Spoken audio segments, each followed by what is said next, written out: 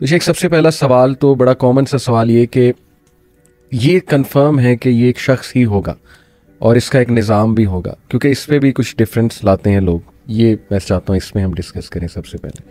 बसमीम देखें दज्जाल को जब हम लफ्ज़ी तौर पर देखते हैं ना तो वो दजल से है और इसका मतलब धोखा देने वाला और दजल का मतलब धोखा होता है। दज्जाल का मतलब बहुत बड़ा धोखेबाज। सही लिहाजा जब इस एतबार से देखते हैं तो दुनिया में जब धोखा आ जाता है और ख़ास तौर पे इस इस, इस वक्त जब कुर्ब क़्यामत हम धोखा देख रहे हैं और हर जगह पे धोखा दही और आ, जैसे नबी करीम सल्लल्लाहु अलैहि वसल्लम की एक और हदीस भी है कि आपने फरमाया कि इन नमिन इकतराब सही। कुर्ब क़्यामत की निशानियों में से एक निशानी ये होगी कि उस वक्त जो है ना सिनून खद्दा के जो तुम्हारे ऊपर ऐसे साल आ जाएँगे जो धोखे के साल होंगे। ठीक है। अब धोखे के साल आ गए तो फिर उसकी आपने तशरी फरमाई यु सद्दफ़ी हल्कादिब वयुकफ़ी सादिक वयोतमनफ़ी हल्खाइन वयुखवनफ़ी अमीन। कि उसमें सच्चे को झूठा समझा जाएगा झूठे को सच्चा समझा जाएगा और जो अमानतदार है उसको बदयानत समझा जाएगा बदयानत के ऊपर भरोसा किया जाएगा यानी ये जो सारा धोखे का एक चाल चलन है और जो तर्ज अमल सही। वो जब प्रिवेल करता है माशरे के अंदर तो लगता यूँ है कि ये दज्जाल है। यानी हम या अवामनास जो हैं, वो ये समझने में इस हद तक हक बजानब होते हैं कि जब हर तरफ़ ही धोखा है। और कोई शख्स हमें सच्चा मिलता ही नहीं है। हम्म, हम्म। लोग जो हैं वो धोखेबाज हर शख्स धोखा दे रहा है हर शख्स बेईमानी कर रहा है। तो दज्जाल भी तो बेईमानी ही करेगा तो शायद ये पूरी तहजीब जो है इसका नाम दज्जाल है। तो लोग भी इस मुआशरे को दज्जाल कह देते हैं। फिर ये है कि सबसे ज़्यादा जो मीडिया है उसके अंदर चूँकि ये धोखा देने की सलाहियत सबसे ज़्यादा है जी, जी, जी. लिहाजा लोग बाज़ात मीडिया को दज्जाल कह देते हैं। फिर नबी करीम सल्लल्लाहु अलैहि वसल्लम ने चूँकि फरमाया कि उसकी एक आँख होगी हम्म, हम्म, हम्म। तो उसको कैमरे के साथ तशबी दे देते हैं। कैमरे की आँख एक है। मोबाइल फ़ोन के साथ। मोबाइल फ़ोन के साथ तशबी दे देते हैं कि ये जनाब ये दज्जाल है। अला हाजल क्यास यानी इस तरह से लोगों को अपने जो व्यूज़ अप्लाई करने में और अहादीस से जो मतलब अखज़ होता है उसको अप्लाई करने में लोगों के अपने तजुर्बात शामिल हैं। सही। और लोग अपने तजुर्बे की वजह से ही चीज़ें जो हैं इसके साथ अटैच कर देते हैं। वगरना आपने जो बात कही नबी पाक सल्लल्लाहु अलैहि वसल्लम की अहादीस से बिल्कुल वाज है कि वो शख्स होगा वो एक आदमी होगा उसका बाकायदा माँ बाप के घर पैदा हुआ होगा हम्म। और उसकी एक शख्सियत है। सही। और उस शख्सियत के होने का एक जो सबूत है देखें ये नो डाउट कि नबी पाक सल्लल्लाहु अलैहि वसल्लम बहुत डराते थे इस फितने से बल्कि आपने फरमाया कि आदम सलाम की तख्लीक से लेकर क़यामत के वकू पजीर होने तक सबसे बड़ा फितना। बिल्कुल अब देखें वो सबसे बड़ा फितना इसी वजह से है कि वो लोगों को धोखा देगा। बिल्कुल। और जब लोगों को डिसीव किया जाता है तो अब आप सामने अक्लमंद हो सामने जितना मर्ज़ी साहिब फहम फरासत हो जब उसको आप धोखा दे देते हैं तो वो शख्स धोखे में आ जाता है और धोखे में आने के इम्कान मौजूद होते हैं। इसीलिए नबी करीम सल्लल्लाहु अलैहि वसल्लम की बेशुमार हदीस के बारे में इसके बारे में है कि जब आपको पता चले कि दज्जाल का जहूर हो गया तो आपने उसकी तरफ़ नहीं जाना बल्कि उसके दूर जाना है। हम्म। क्योंकि एक शख्स कहेगा कि मैं तो इतना साहिब ईमान हूँ मैं उसके साथ जाके बात करूँगा मुझे मैं तो जनाब और वो जाएगा जाके उस फितने का शिकार हो जाएगा क्योंकि धोखा है ना। लिहाजा दज्जाल का जो लफ्ज है ये हमें हम अपने तजुर्बे के साथ जब हम इसको अटैच करते हैं तो हमें हर धोखेबाज चीज़ जो है वो दज्जाल लगती है। हम्म। इसलिए आपको सोशल मीडिया के ऊपर भी और मुख्तलिफ़ लोगों के दरमियान मुख्तलिफ़ किस्म की इंटरप्रटेशन मिलती सही नबी करीम सल्लल्लाहु अलैहि वसल्लम के दौर में एक शख्स था सही। एक लड़का था बल्कि हम्म। यहूदियों के यहाँ वो उसका नाम तो साफ़ या साफी था सही। लेकिन उसको इब्ने सयाद के नाम से वो मशहूर था। बिल्कुल बिल्कुल। तो अब उसके बारे में साहबा कराम ने बाकायदा नबी करीम सल्लल्लाहु अलैहि वसल्लम से ये अर्ज़ किया कि उसके अंदर हम कुछ चीज़ें ऐसी देखते हैं जो आम नहीं है आम है। लोगों में नहीं होती। लिहाजा हमारे ख्याल में वो दज्जाल है। बिल्कुल ठीक। तो नबी करीम सल्लल्लाहु अलैहि वसल्लम तशरीफ़ ले गए। आपने उसके साथ गुफ्तगु की। इसका मतलब ये है कि नबी पाक सल्लल्लाहु अलैहि वसल्लम का उसको कंसीडर करना वो दज्जाल था कि नहीं था उसके बारे में आगे बहुत सारी आदीस हैं।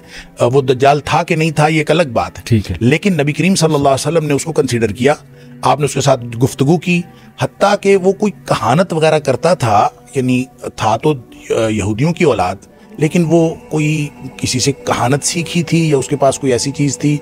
कहानत कहते हैं किसी चीज़ का हिसाब लगा लेना। बिल्कुल और वो हिसाब लगा लेता था। हम्म। उसको कोई कुदरती सलाहियत थी या जो भी कुछ था। तो वो एक ऐसी बात करता था जिससे लोगों को शक होता था कि ये कोई माफाकुल फितरत किस्म की चीज़ है। इसलिए साहबा कराम ने नबी पाक सल्लल्लाहु अलैहि वसल्लम से फरमाया। आपने जाके ना इम्तिहान लेने के लिए आपने ये फरमाया भी कि आपने फरमाया कि तुम बताओ कि मैंने दिल में क्या चीज़ सोची तो वो आगे से कहने लगा दुख दुख। अच्छा नबी करीम सल्लल्लाहु अलैहि वसल्लम फरमाते हैं मैंने दुखान यानी धुआँ सोचा था हाँ, और उस शख्स ने ऐसी ही बात उससे मिलती जुलती गैस कर लिया यानी उसने एक अ, उसका गैस जो था करीब करीब था। तो आप सल्लल्लाहु अलैहि वसल्लम फरमाया कि इससे आगे तू नहीं जा सकता। गोया हतमी इल्म तो अल्लाह के पास होता है और ये। तुकबंदी कर लेते हैं लोग जो हिसाब किताब लगाते हैं काहिन वगैरह। तो उसने ऐसी बात कर ली। उसके बाद वो शख्स काफ़ी देर ज़िंदा रहा। वो यानी उम्र फारूक रदी अल्लाह तआला के दौर में भी था और लोग जो हैं उसके बारे में बाज लोगों ने तो साहबा कराम के बयान आते हैं कि हमने तो कन्फर्म समझा हुआ था कि यही दज्जाल। हम्म, इस पर फिर अबू सईद खुदरी रदी अल्लाह की एक हदीस जो है वो हमें उसके बारे में एक रहनमाई फराम करती है। हज़रत अबू सईद खुदरी रदी अल्लाह तआला फरमाते हैं कि हम हज के लिए गए तो साथ वो भी था। अच्छा। तो रास्ते में किसी जगह हम बैठे तो कहते हैं कि मुझे उससे अबू सईद खुदरी रदी अल्लाह फरमाते मुझे उससे नफरत थी। मेरा दिल करता था कि ना कहीं दूर बैठे। तो उसने कहीं सामान जो है दूसरे दरख्त के नीचे मैंने कहा धूप है अपने दरख्तों के नीचे बैठ जाए तो ताकि दूर हो जाए। बिल्कुल ठीक। तो वो बैठ तो गया दूर। तो प्यास हमें लगी हुई थी उसने अपनी बकरी का दूध दोहा और ला के मुझे प्याले में पेश किया। सही। अबू सईद खुदरी रदी अल्लाह तआला फरमाते हैं मैं उसके हाथ से दूध पीना नहीं चाहता था। लिहाजा मैंने उसको कहा भी इतनी शदीद गर्मी है और ये दूध भी गर्म है नहीं मैं नहीं पीता। सही। और आपने ये कह के ना उसका दूध वापस कर दिया। ठीक। तो उसको समझ भी आ गई कि ना ये अवॉइड कर रहे हैं तो उसने फिर ये बात कही। उसने कहा दो लोग मुझे दज्जाल समझते हैं। हाँ, हालाँकि नबी करीम सल्लल्लाहु अलैहि वसल्लम की हदीस है कि वो काफिर होगा। बिल्कुल और मैं तो मुसलमान हूँ। हाँ मैं हज कल करने के लिए जा रहा हूँ। सही। फिर नबी करीम सल्लल्लाहु अलैहि वसल्लम ने फरमाया कि वो लावलद होगा। मेरी तो औलाद है मैं अपनी औलाद छोड़ के आया हूँ। मदीने में मेरा लड़का है मेरा बेटा। फिर नबी करीम सल्लल्लाहु अलैहि वसल्लम फरमाया, मदीना और मक्का में वो दाखिल नहीं हो सकेगा। हाँ। तो मैं तो मदीना मनवरा में रहता हूँ और मक्का में जा रहा हूँ।